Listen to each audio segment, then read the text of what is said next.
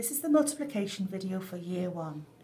In year one, the children use a method called grouping to help them solve multiplication problems. If we look at the following multiplication problem, 2 times 3, the children will be asked to look to see which of those numbers they can easily count in. In year one, the children look to count in twos and in fives and tens, so they can see that this one is what they can count in. The other part of the question is how many groups they're going to need. The children will draw three groups. Inside each of the groups, they will put two. It could be objects or it could be dots.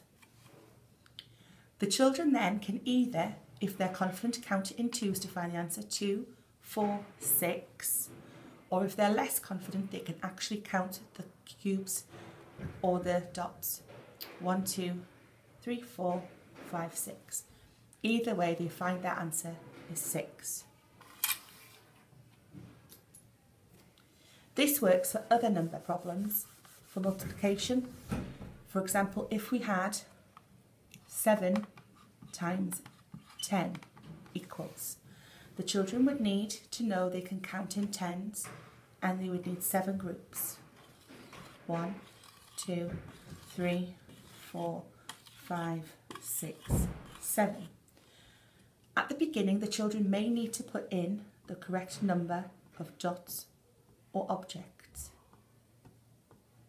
One, two, three, four, five, six, seven, eight, nine, ten. That could help them as a visual do the counting or tick them off if they needed to. Once the children are more confident, they can actually just write the number 10 inside each of the groups. This could help them count in tens, 10, 20, 30, 40, 50, 60, 70. The answer is 70.